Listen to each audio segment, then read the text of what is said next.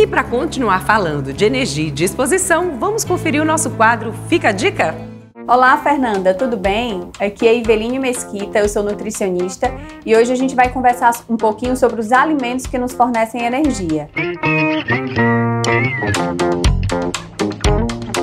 Geralmente, nós encontramos energia nos alimentos que são fontes de carboidratos, como por exemplo as frutas, banana, maçã, açaí. É, mel também é uma, uma excelente fonte de carboidrato que nos fornece energia. A aveia também é uma excelente fonte de carboidrato.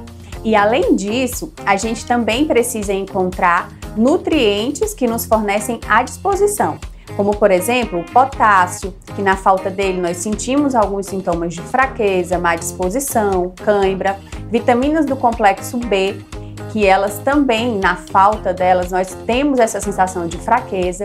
Além disso, é importante a gente verificar com frequência a nossa deficiência de nutrientes, fazendo exames de sangue.